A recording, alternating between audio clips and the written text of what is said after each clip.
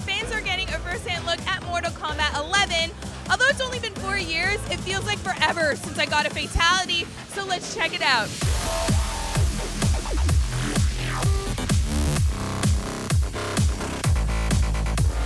You got a chance to play a little bit of it, and obviously you saw it. What are your first impressions? It feels very different from Mortal Kombat X. Yeah. Uh, it feels more like Street Fighter, to be honest. Really? Uh, it's very, it's slow pace. It's gonna take people, you know, a little while to get adjusted to that. It's definitely uh, going to take some time for us to really understand the mechanics because there are a lot of new mechanics in this game that weren't in the previous ones. So I don't want to say anything too quick, jump the gun or anything, but there is a lot that we're going to have to learn about this game.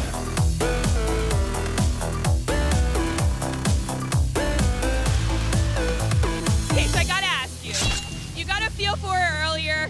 Who are you feeling as a character for MK11? Definitely Scorpion. He has a sword. He has the footsies that I like in the spacing game. So I've been having some fun with him. EX teleport is safe, so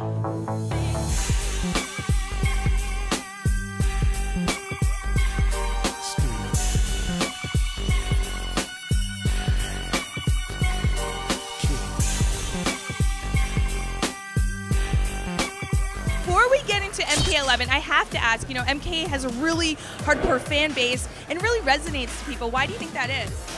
Well, I mean, I was a fan before I started working here, so I was remember myself at 10 years old going to the 7-Eleven, playing Mortal Kombat 2 at the arcades with my brothers and my friends, staying there overnight because it's a 24-hour place. I used to love it.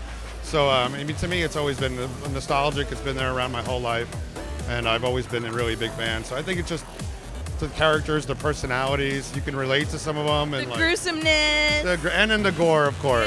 Yeah. You know, how can you go wrong? Let's talk about the story because at the end of MK10, we saw Raiden was corrupted by Shinnok's amulet. So where's this picking up? It's Picking up directly after MK10. So, Okay.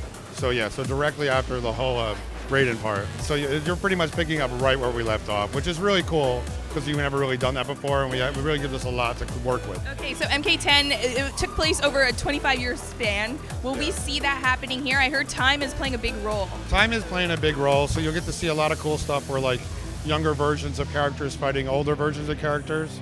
So it's really cool. So like that stuff is really exciting. Getting to be able to work with that dynamic. But I've got to dabble a little bit into story stuff as well, so it's really cool to be able to deal with that. I think one of the biggest announcements of the day was that Ronda Rousey is going to be voicing Sonya Blade. Why do you think it was important for the team to bring her in? I think it's really important to be able to relate a character's voice with our games because we've never really done that before. When I was first starting out, I remember knowing the character actors that were at the trade shows, and I've always related them to the characters. But after a while, we stopped using their likeness, and we just started using more 3D, more you know, as technology got better. So I think it's good to bring some more people back into it. Also, another character reveal that we had, we had Skarlet is Yeah. making a return. It's huge. You know, she was a huge fan favorite. So, you know, she was the DLC last time around, and people just really, really love her. That resonates with. They just love her. So there's lots of fan favorites, but also some new faces as well. Can you talk to us about Garrett? Um, I mean, uh, the new character Geras that's in the uh, the demo that we showed today. Um, he's like kind of has some time powers, so we get to work with a little bit something we haven't really worked with before. A lot of like just rewinding, fast forwarding, cool stuff. You saw some of the stuff in the trailer that we showed off. So I think it's just really cool to be able to pull something new after all these years into Mortal Kombat. I can't wait to get my hands on this game. Thank you so much for spending Oh, the time. April 23rd. Finish him.